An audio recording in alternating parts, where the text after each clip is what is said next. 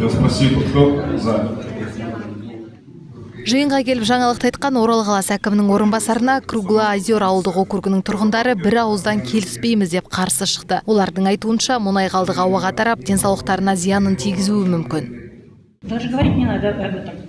Бұл туралы мүлдем айтпаңыздар. Біз лас ауамен тыныстап лас суды ішкіміз келмейді. Зауыт салынатын болса қазіргіден де қиын болатыны белгілі. Сондықтан ауыл тұрғындарының атынан бұл зауыттың салынуына үзілді кесілді қарсымыз. Категорически против строительства этого завода.